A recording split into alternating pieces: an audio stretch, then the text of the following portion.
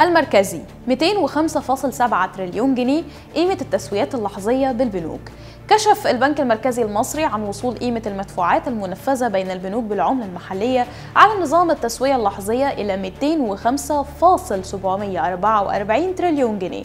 خلال الفترة من يناير وحتى سبتمبر 2024 لنحو مليون فاصل 841 عملية. وبلغ عدد العمليات خلال شهر يناير فقط 202.6 ألف عملية بقيمة 20.6 تريليون جنيه. فيما سجلت عدد المعاملات خلال شهر فبراير نحو 203 ألف عملية بقيمة 24.3 تريليون جنيه. وبلغت المعاملات خلال يونيو حوالي 175 ألف عملية بقيمة 16.898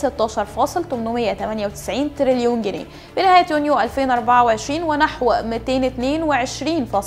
ألف عملية بقيمة 25.281 تريليون جنيه خلال يوليو فقط.